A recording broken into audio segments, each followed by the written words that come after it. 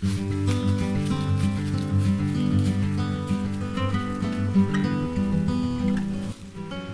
we have here is an example of an ash tree, Fraxinus excelsior.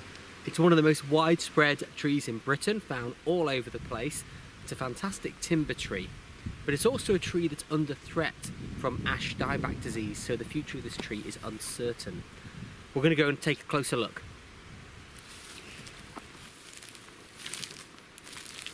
The ash tree is a really good example of using the method we talked about where you identify the bud of the tree first in winter.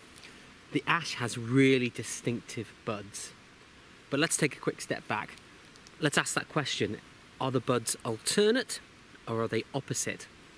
And here they are in pairs opposite. There's a pair here, pair here, a pair here, and there's actually two either side of this black conical bud here. So it's opposites, so immediately we can rule out a load of species of tree. So what else tells us it's ash? these very distinctive black conical buds. There's no other tree like that that's native to Britain, very distinctive of ash. And they're quite large for the size of the twig as well, so they're very distinctive to see. You can spot them from a little distance away. The bark as well is also a very smooth grey, very smooth grey bark, unlike the more mature stem at the back there that's begun to fissure with age. So that's very distinctive there, and that's the way we can tell it's an ash straight away go to the end of the bud, follow that method, and there's no mistaking it.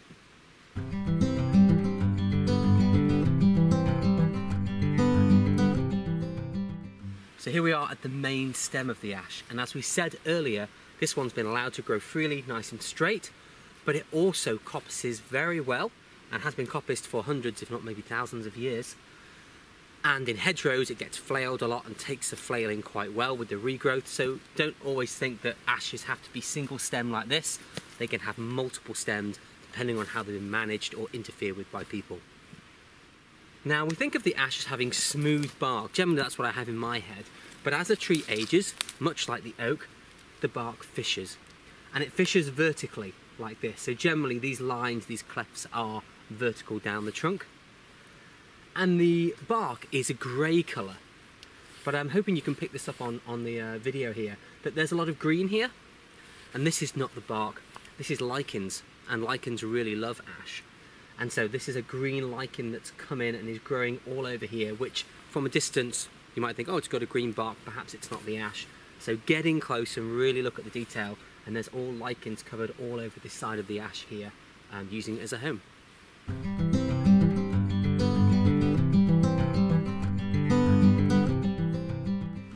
So the ash tree can grow to up to 40 meters tall. It's a big, big tree.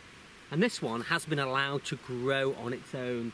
Uh, I don't think it's had much influence from uh, people chopping it or anything trying to coppice it. So it's got a nice straight single stem, which is quite distinctive of ashes that have been allowed to grow naturally. The other thing that's distinctive, there's two, th well, two or three things actually. At this time of year in the winter, you can use to recognise the silhouette of the ash tree from a distance. So as we discovered before, the um, buds are opposite. So we can look for that silhouette out on the tree. What I tend to think of is a devil's pitchfork kind of shape like this. And you can see that on the very ends of the tree there. You can see those, pitchforks, those uh, three tines of a rake sticking out. Another thing you can look for, on the edge of the tree, see outside, do you notice how the branches kind of sweep up like this? They have an upswept uh, turn to them and that's quite distinctive of ash. The horse chestnuts do it as well. One more thing to look for at this time of year is the ash keys, the fruit of the ash. And they start off quite green, and then as they ripen they turn brown and papery, and each one contains a single seed. And they're referred to as keys because they look like bunches of keys clustered together there. And you can see their outline and they hang on well after the leaves have dropped. So at first glance you could think it's an oak with the brown oak leaves hanging on, but no, they're all hanging downwards and you can see that from a distance. They're like bunches of keys if you remember that and that's another distinctive teller that this is an ash. I just want to demonstrate um, how we can recognise the ash from a distance again. It's those ash keys hanging on which makes it very distinctive. You can see on the uh, tree here in the middle of the shot all those bunches of ash keys that hang on in winter. The tree next is bare nothing on there. And then behind that holly, there's another ash with all the keys. So again, another bare tree. And we pan over to our main ash we've been looking at, and it's absolutely full of keys. So really good teller in the winter of what you're looking at, even from a distance. One other feature that you might want to look out for on the branches of ash trees later in winter is what we see here on these branch tops, these multiple stalks. These are left over from the ash keys which were blown off in the November December winds and we're left with just those bunches of stalks there which are really quite distinctive so you might well see that later in winter on your ash.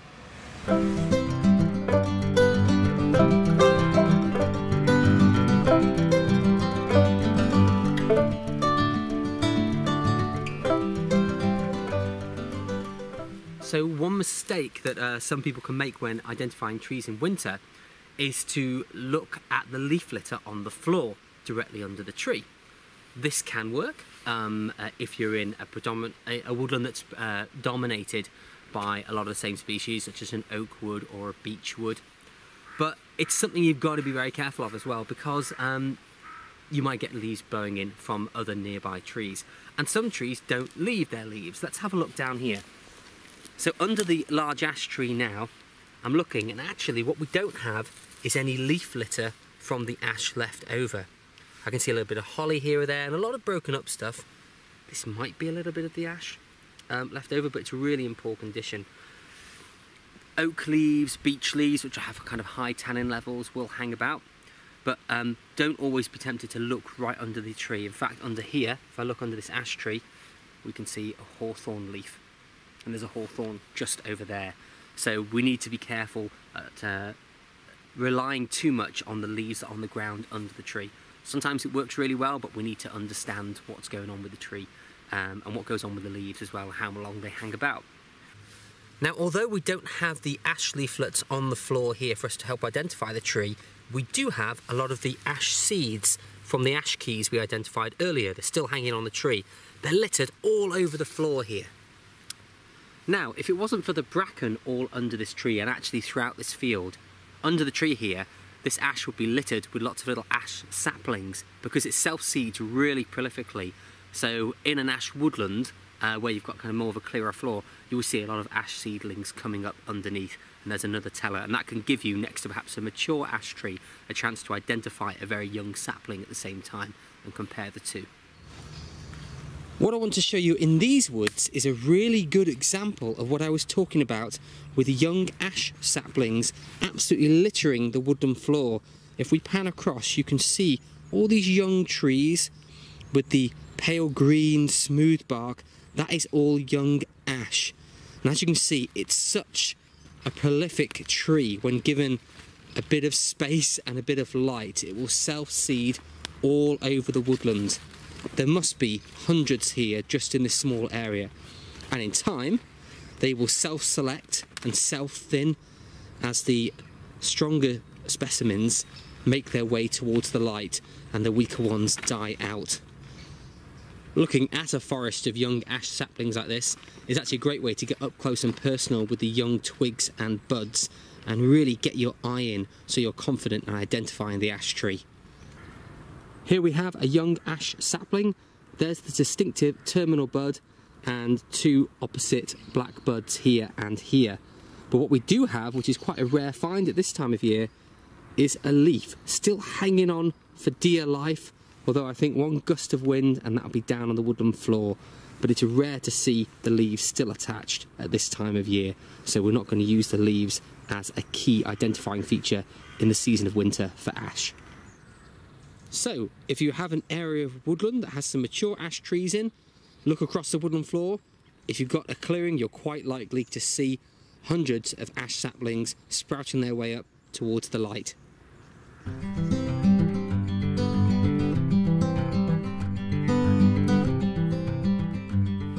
Now in times past, the ash wood was one of the most highly prized timbers in the country and before plastics took over it had a whole variety of uses and still does today in traditional greenwood crafts.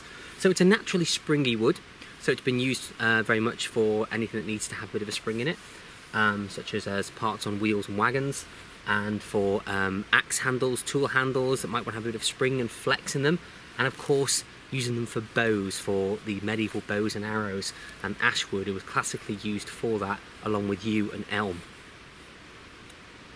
Ash wood also cleaves really readily as well, very easily. It splits very nicely, which shows it has a nice straight grain. It's a beautiful kind of clean white wood to use.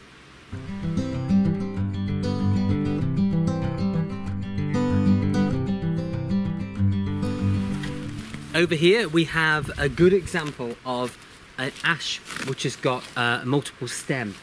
You can see one, two, three, four main stems coming off this ash here. And that means that it's been coppiced at some point. Uh, at some point someone's come along, cut this, and we've had four main stems grow. It's a really good example of how an ash can look different compared to the single stem ash we looked at earlier. Let's look at something else that's important too. We've got a good example here of the smooth grey-green younger bark opposed to the more, more, mature tree that we had there.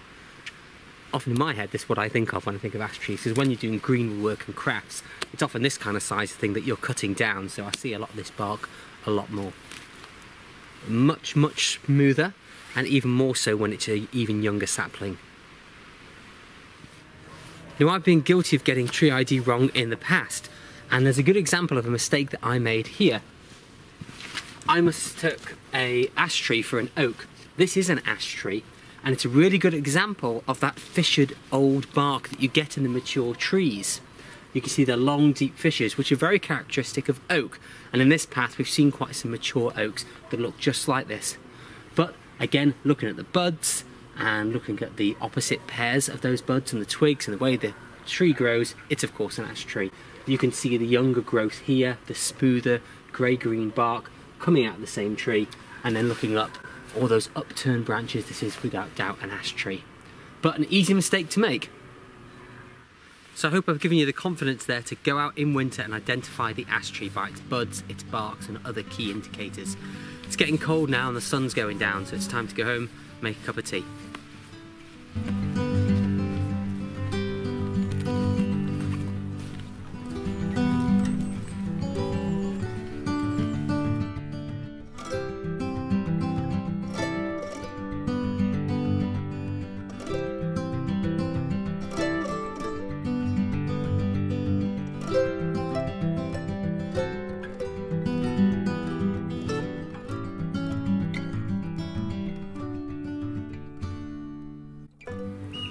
Thank you so much for watching the video and I hope it's piqued your interest to find out more about the beautiful native tree species that we have here in Britain. But before you go, I wanted you to know that this video is actually just a taster of a much larger tree identification video course that I've created for people just like you. The full course covers over 50 tree species that you'll commonly find here in the UK and we look at those tree species in all four seasons, starting in winter to spring, summer, and then finally autumn. In each season, we're going to be picking out those distinctive features, which means you'll be able to identify the tree no matter the time of year. As well as videos like you've seen today, the full course also includes hundreds of photos, you're going to get questionnaires on tree species, and you'll also receive a certificate at the end of the whole course.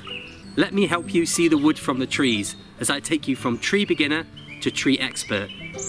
To find out more, simply follow the link in the description below and you'll also get access to two more free Tree ID videos as a preview. So you're just one click away from becoming a tree expert. Thanks again for watching and I hope to see you again in the woods.